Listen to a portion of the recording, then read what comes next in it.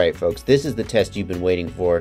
We tested these batteries at 20 amps, boring. We tested them at 40 amps and started to see some stuff going on.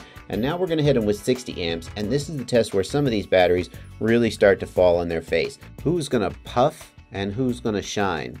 Let's get into the test results and find out.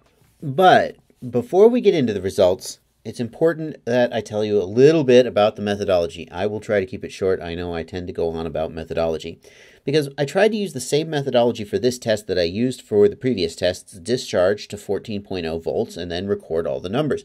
And what I found was, well, watch what happens. 69, dude. Here we go.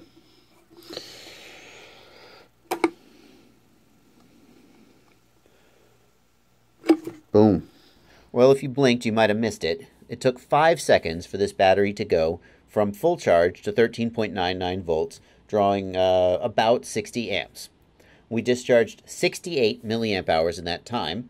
This battery clearly is not done. In the 40 amp test, I said that if the battery sagged to 13.99 and then we backed off the throttle and it recovered, I wasn't going to keep testing the battery because if you were flying and that happened, you would land, you'd be done. And I feel like that's true. But a 60 amp punch is so much bigger than a 40 amp punch. I feel like for most pilots, that would represent a relatively small portion of your flying. So you might do a sustained 40 amp punch to go over a tree to a split S or on a long straight in a race.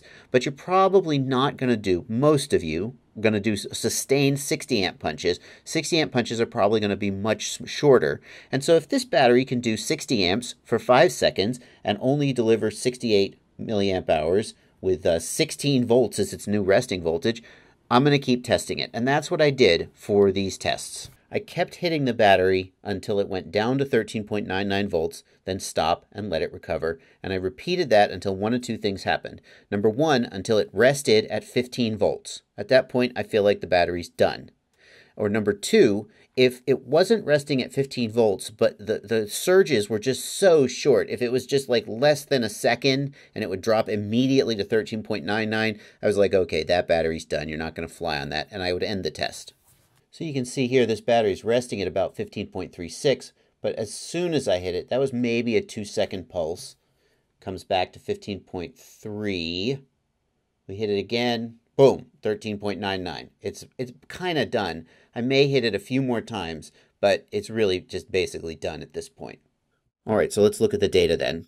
I've added some columns here because the methodology changed. I felt like there were some metrics that you needed to know about that the previous metrics didn't fully encapsulate. One of the columns I added is number of bursts, and for number of bursts, lower is better. A battery with more bursts had more sag. They had to stop at when it hit 13.99 volts and then go back and let it rest and hit it again. So a battery with two bursts is much better than a battery with 13 bursts. It was able to deliver 60 amps or thereabouts consistently without sagging and without having to take a break. Longest burst is the time of the single longest burst without regard to whether it was the first, second, third, or fourth. For some reason in this testing, the first burst was usually very short, and then the second burst was the longest one. That was true for almost all of the batteries, if not all of them. So I recorded the time of the longest burst, and again, higher is better. The battery was able to deliver the current without needing a break. Time is the total amount of time that it, the battery was discharging at this rate. So it's basically the sum of the length of the bursts. Longer is better. Milliamp hour, milliamp hour percent, watt hour are all the sum of what it was discharged. And then we've got the stop voltage here, which is 13.99 for all of them, and the resting voltage. The resting voltage for all of the batteries that finished the test would be 15.06 any battery with a higher resting voltage than 15.06 did not finish the test. Either the battery overheated or the bursts were so short that I feel like this is not realistic. You would not fly on this battery, and I stopped the test early. The other question that you might ask is why aren't the amps consistent? And I don't know the answer to that. Especially, I don't know why the Mad Dog had an average of about 68 amps when the others were very close to 60. I don't know, something about it, the test changed slightly, and I wasn't willing to go back and rerun the Mad Dog test. So bear in mind that the Mad Dog battery was actually working a lot harder than any of the other batteries in the test. With that all being said, let's now take a look at the actual results. The 1800 batteries between the Bolt and the Nanotech, how much better did the high volt do compared to the regular LiPo? The high volt knocked my freaking socks off in this test. If you watch the original video I recorded, I'm just saying, oh my God, I can't believe this. Literally, the whole time, it just pumped out the current without breaking a sweat. It went for one minute and five seconds, delivering 1100 milliamp hours without stopping. And then it did one more little burst, and then it was done. This is just the single best battery in the test. The 1800 delivered its current in six bursts with a longest burst of only 49 seconds. It didn't do bad. In fact, its uh, its longest burst was only six seconds shorter than the Bolt, but the Bolt did slightly better. So these batteries are very close. The Bolt is definitely doing better as we get into the 60 amp range, and I can only assume that the Bolt would continue to do better as we went to even higher amperages. However, the Nanotech still did a fantastic job. And that's, of course, because it's an 1800 milliamp hour battery, and we're only pulling 33C out of it, whereas the other batteries were pulling closer to uh, 45 or 50C. So uh, this really speaks to the fact that that extra 50 grams that you're paying for this battery is giving you much better current delivering capacity, uh, and that's something to think about if you're going into a race. Of the 1300s, and let's face it, this Green Gorilla 1400 is really acting more like a 1300 now that we're into these higher discharge rates. Of the 1300s, the Bolt and the Mad Dog were still very closely matched. Six bursts and seven bursts, 20 seconds for the Mad Dog, 25 seconds for the Bolt, a total of 50 seconds for the Mad Dog and 53 seconds for the Bolt. But Remember that the Mad Dog was delivering 68 amps and the Bolt was only delivering 60 amps. So the Mad Dog does appear to have done only slightly worse, although notice here the Mad Dog still won in milliamp hours, right, and watt hours. But the Mad Dog was delivering 68 amps versus 60, so it was at 52C and the Bolt was only at 46C. I feel like the Mad Dog definitely has pulled ahead here. Again, in previous tests, the, these batteries have been very close with the Mad Dog just edging out the Bolt. And now that we're in the 60 amp range, the Mad Dog is really showing its mettle, delivering almost 70 amps. I would feel like it would be completely legitimate to call the Mad Dog a 50C battery, no question. So this may put the lie to my claim that no battery is doing better than about 40, 45C. If you can go 20 seconds at 50C without sagging below 14 volts, I have to start acknowledging that you may have a legitimate C rating. The Green Gorilla did pretty badly.